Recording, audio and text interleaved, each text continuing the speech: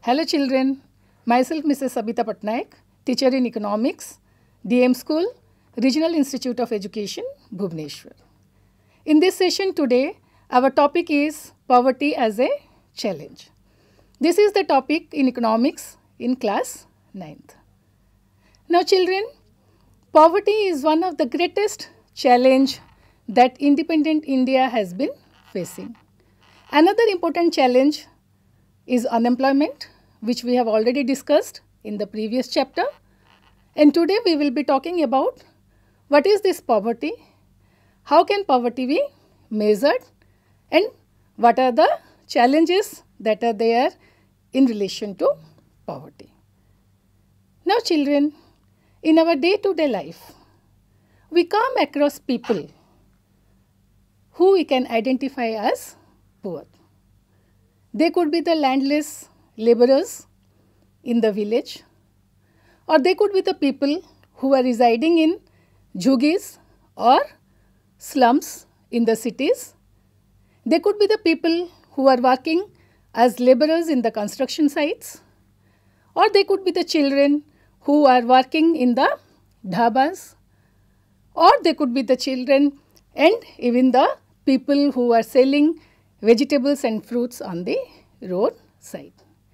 We see poverty all around us.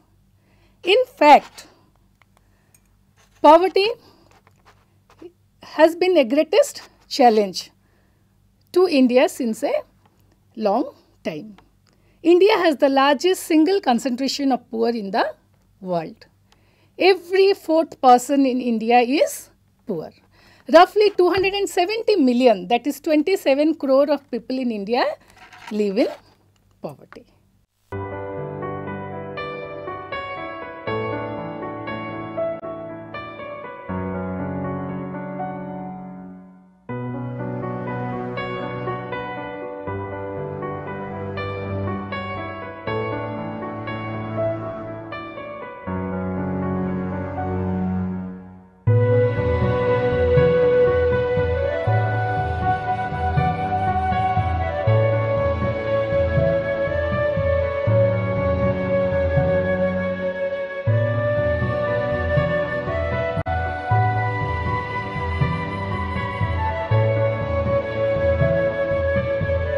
Children, you saw the visuals related to poverty. Now we can make out certain common things from these visuals which will help us in defining what is poverty or what does poverty means. Poverty means what? Hunger and lack of shelter. Now children you saw in the visuals people who are poor they are starving they are not having enough food, two square meals a day, and they don't even have proper shelter. They don't have proper clothes, they don't have proper houses to live in. You will find people are spending their nights in the bus stops, in the railway stations, on the roadsides, on the footpaths because they don't have proper houses. Forget about hygiene and sanitation. They don't even have enough proper drinking water. Now other feature that we could find out from the visuals is that people who are in poverty, they suffer from malnutrition because of food, lack of food. They are not able to grow properly, so they suffer from malnutrition nutrition. And the parents are unable, unable to send their children to school. There is the inability of the parents due to lack of enough income to send their children to school. Children are not going to school, they are seen to be begging or they are seen to be working in the small tea stalls or would be in small dhabas. Okay. Now, these people who are poor, they are also unable to afford the medical care. Whenever they fall sick, they don't have enough money to visit a doctor or consume medicines. Lack, in, lack of clean water and sanitation is always there because they live in the surrounding which lack in proper provision of water and sanitation. Now there is also a lack of regular job. These people who are in poverty, they do not have a regular job.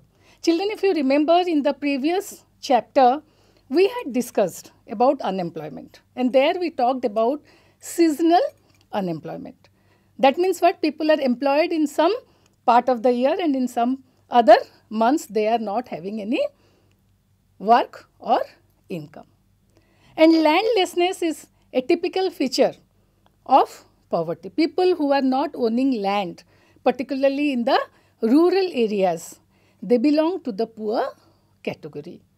And these people, they live in a sense of helplessness because they do not have income due to unemployment. One important feature of poverty is child labor. When the family income is less, children try to supplement the income by working instead of going to school. And social exclusion that is also noticed among the people who are poor. The community who are poor, they are not found to be residing with the people who have enough. They stay in the areas which are away from the areas where the people who are not poor, they stay. And vulnerability is another important feature of poverty. Why? Because people who belong to certain communities like scheduled caste, scheduled tribes and women, elderly people, they are more vulnerable to poverty. Why they are more vulnerable? Because they do not have any options like owning any assets or they do not have any access to education or health care or even they do not have any opportunity to get any job. So, these are all what the features of the poverty which we could see and make out from the visuals that we saw. Now, let us children find out what are the various dimensions of poverty. We can understand the nature of poverty by finding out what are its various dimensions. We can see the nature of poverty is different in rural areas and it is different in urban areas. I will give you an example to visualize what rural poverty is. Now take for example Ramesh is a person who is of 30 years of age. He is residing in a village say Rampur in say Jharkhand. He is not owning any land in the village. So then what he is doing? To earn his livelihood, he is working as a laborer in the field of the village land owners who are big landowners. With them he is working.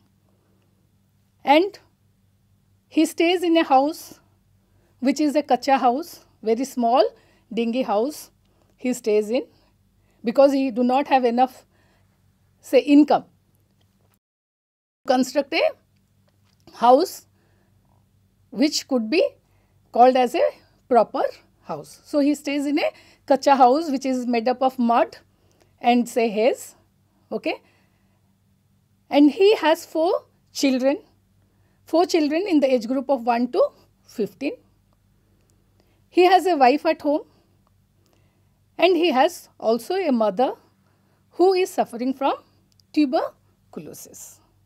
His father died few years ago because of tuberculosis and Ramesh couldn't afford the medical treatment for his father and now his mother is also suffering from the same disease. Wife is doing the household chores and whenever she is free, she goes to the field to collect fodder and firewood. What are the children doing at home?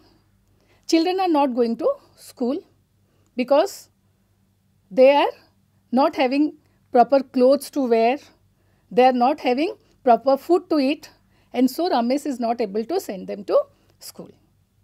The younger two children, their growth is undernourished because they are not having good food to or nutritious food to eat. The elder son of Ramesh, he goes to field to work with Ramesh whenever there is a busy season like cutting of the crops or sowing of the seeds like that and during that time he accompanies his father to the field and manages to get some income for the family. Now such is the livelihood of the family of Ramesh. New clothes is a dream for them and goods like oil and soap are a luxury for them. This is the nature of poverty in the rural area. In your book, you also have a example and story regarding rural poverty. You can also read that to get some better insight into what is rural poverty. Now then, what is urban poverty? I'll give you an example of urban poverty. Before I give you the example, you can have a visual of the Dharavi slum of Mumbai to get an idea of what urban poverty is. Let's have a look at the video.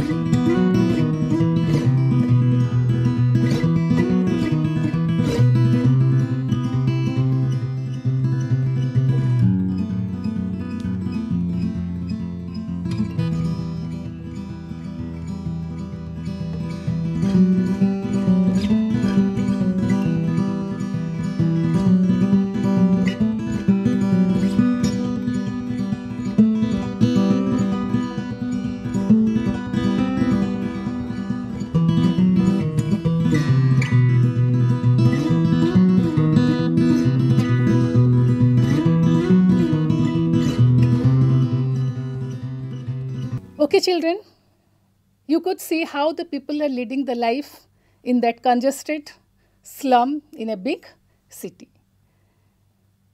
This is a reflection of what is called as urban poverty. People have moved from the rural areas to the urban areas in search of job. And whatever job they are doing in the urban areas, they are basically unskilled work as a result, they get low payment and that is why they are forced to live in a small jhugi or we can say it as a jhopris in the slum areas.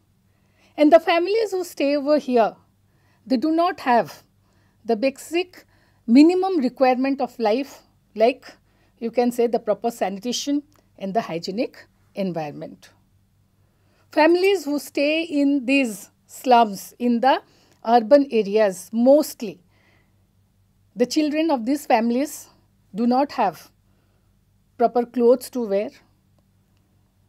They are not able to buy even shoes for themselves.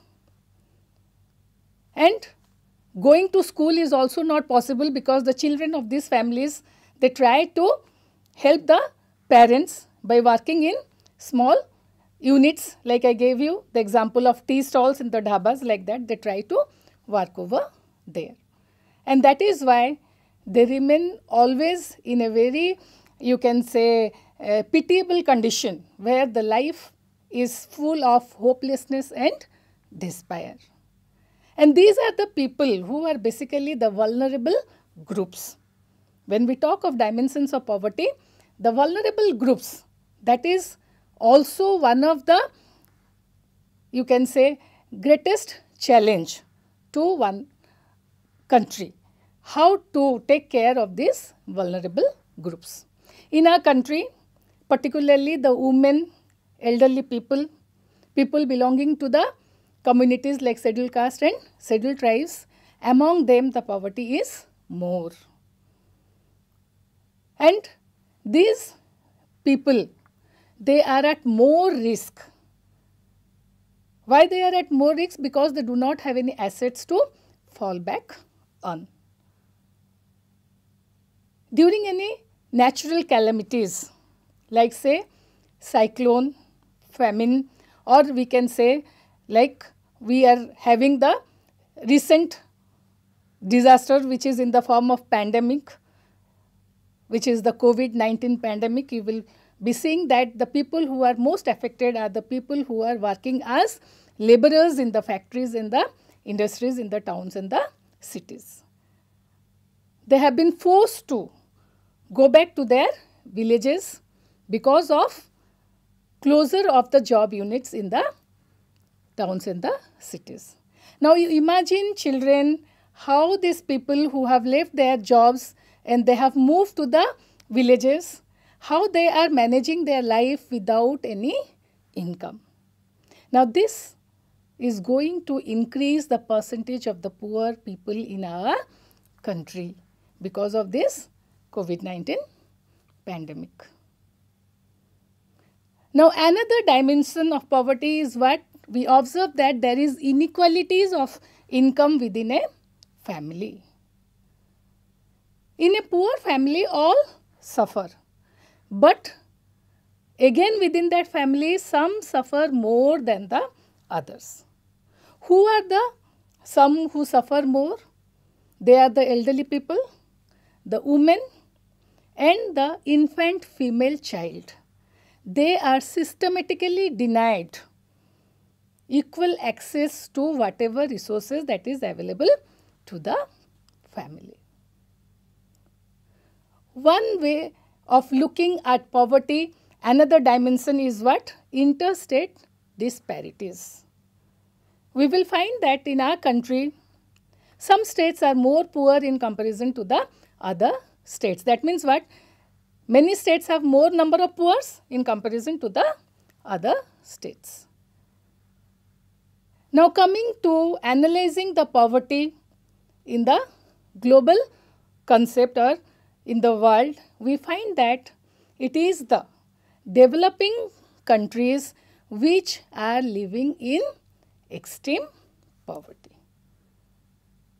Okay children, now let us try to find out how do we know what is that percentage of the people who are living in poverty so that we can find out some means, some ways and some schemes to reduce that percentage. So, measurement of the extent of poverty is done by the government of the country to know what is the head count ratio of the poor in our country. Head count ratio of poor means what? The number of people who are not having the minimum basic requirement. To estimate, to find out the extent of poverty, what is used is the poverty line. How do we measure poverty? We measure poverty with the help of what is called as poverty line. What is poverty line children? It is a line, a cut-off point on the line of distribution which divides the population as poor and non-poor. That is a line which is fixed by taking into account what? The minimum amount of income and the consumption of certain goods which are required to sustain the life. On the basis of that, a cutoff point is decided and whoever is above the cutoff point are non-poor and who are below that cutoff point they are called as poor. The poverty line is fixed on the basis of income and consumption levels. How do we know what is that minimum level of income or consumption so that we can decide which will be the cutoff point. For that, the consumption of certain goods is taken into consideration. What are those goods which are required for minimum sustenance? Is say food, minimum clothes, then education, health, then we require the consumption of fuel and light.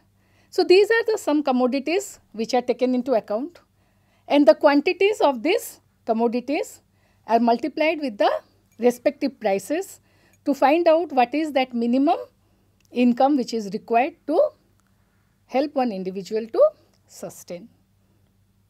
For estimating the amount of food that is to be consumed, we use what is called as the minimum calorie requirement. Certain food items like say cereals, pulses, milk, vegetable, oil, sugar. These are some of the essential food items which will give the required calorie to an individual by its intake. That is decided. And what is that accepted average of calorie requirement? In India, it is 2400 calories per person per day in rural areas and 2100 calories per person per day in urban areas. 2400 in rural areas and 2100 in urban areas.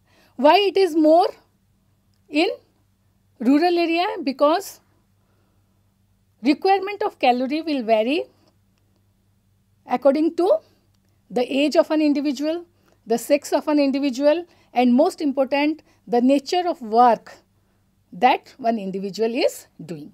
In rural area people are subjected to more physical work in comparison to the people who are working in the urban areas. That is why the calorie intake requirement in the rural area is 2400 whereas in the urban area it is 2100. On the basis of the expenditure on this minimum calorie intake, the poverty line for a person has been fixed at rupees 816 per month for rural areas and rupees 1000 for the urban areas and this has been done in the year 2011 and 12. Why the requirement is less in the rural areas in terms of rupees it is 816 whereas in urban areas it is 1000 because in urban areas the prices of the goods are little higher in comparison to the rural areas. Now on the basis of this a family of 5 members living in rural areas and earning less than rupees 4080 per month will be below the poverty line. And a similar family in the urban areas would need a minimum of rupees 5000 per month to meet their basic requirements. In India, the poverty line is estimated periodically. Children normally in every 5 years by conducting what is called a sample survey. And who carries out this sample survey? This is carried out by the National Sample Survey organization in India. And in order to compare the developing countries who are facing poverty, the World Bank uses a standard uniform poverty line. And what is that? It is the minimum availability of equivalent of dollar 1.90 per person per day. That means the poverty line is fixed at dollar 1.90. People above that will be called as non-poor and people having less than that will be called as poor. Now, one important question, children, is why do different countries have different poverty lines? Every country do not have the same poverty line. It is because every country's level of development is different. Their social need is different. On the basis of the level of development and their accepted social norms, every country has its own poverty line. Because this minimum requirement which we take to form a poverty line, it is based on what? It is based on the availability of the income to the people in the country. It will vary from time and place. Like for example, children, in country like United States, people who are not owning a car, they will be called as poor because their estimation of poverty is in that way. Because their requirement or minimum requirement is what? If they are not owning a car, they will be called as poor, maybe. But in India, owning a car is a luxury. So, poverty line in every country will be different. Okay? Now, let us now see the extent and nature of poverty in India. This is the table which shows the estimates of poverty in India. Table 3.1 that is there in your NCERT textbook and the source is the economic survey 2017 and 18 and from this table children you can make out from 1993-94 to 2011 and 12 we have some data with regard to poverty ratio in rural areas, in urban areas and number of poors in the rural and the urban area. And what is the estimate? There has been a substantial decline in poverty ratios in India from about 45% in 1993-94 to 37.2% in 2004 and 5. The proportion of people below poverty line further came down to about 22% in 2011 and 12. The number of poor declined from 407 million in 2011-12 with an average annual decline of 2.2% during 2004 and 5 to 2011 and 12. Now here is a bar diagram which shows the extent of poverty of the vulnerable groups. This bar diagram is also in your book. Now you can see in this bar diagram the extent of poverty of the scheduled tribes, scheduled caste and the casual farm laborers and the non-farm laborers. It shows the number of people who are poor among every 100 people. The average for poor people below poverty line for all groups in India is 22. 43 out of 100 people belonging to scheduled tribes in rural areas are not able to meet their basic needs. 34% of casual workers in urban areas are below poverty line. 34% of landless agricultural workers are poor and 29% of scheduled caste are also poor. Now coming to inequalities of income within the family, here is a visual. You can see that there is one adult man and there are so many women in the family and children. The person is wondering how to send the children to school as he has not been able to get a job in the urban area. He went to the town to look for a job but he couldn't get it. So, this explains the extent of poverty within the family. There are so many people living in the family and one person is earning to take care of everyone's need. So, what will ultimately happen in this family, those who are elderly, women and the infant child, they will be deprived of certain, say, uh, access to the resources like going to school, consuming milk. This all will not be given to all equally. Okay. Now coming to interstate disparities. What is the estimate of the poverty ratio in our selected Indian states? This is there in the bar diagram again. This is the graph 3.2 in your chapter 3 in your book. You can have a look at it. And what we have found out from that graph, recent estimates show while the all India headcount ratio was 21.9 in 2011 and 12, states like Madhya Pradesh, Assam, Uttar Pradesh, Bihar and Odisha had above all India poverty level. Odisha and Bihar continue to be the two poorest states with poverty ratios of 33.7% and 32.6% respectively. And there has been a significant decline in poverty in Kerala, Maharashtra, Andhra Pradesh, Tamil Nadu, Gujarat and West Bengal. Why the poverty has declined in these states? Kerala, it focused more on human resource development through education and healthcare. Maharashtra had enough industrial growth. Andhra Pradesh and Tamil Nadu probably they focused more on the public distribution of food grains that has resulted in lesser percentage of poverty. And West Bengal, the success is mostly due to the success of the land reform measures. And states like Punjab and Haryana have traditionally succeeded in reducing poverty with the help of high agricultural growth rate. Because of the success of Green Revolution and high agricultural yields, Punjab and Haryana could become the states with lesser poverty. Okay children, this is regarding the extent and nature of poverty in India. Before we finish the discussion, let us reflect on what we have already discussed. These are few questions for reflection. Which organization carries out survey for determining the poverty line? Is it NSSO, CSO, Niti Aayog or Economic Planning Commission? We have already discussed it children. It is NSO, National Sample Survey Organization. The second question is in which state the high agricultural growth has helped to reduce poverty. Is it Jammu and Kashmir? Is it West Bengal? Is it Punjab or is it Gujarat? High agricultural growth has happened in Punjab.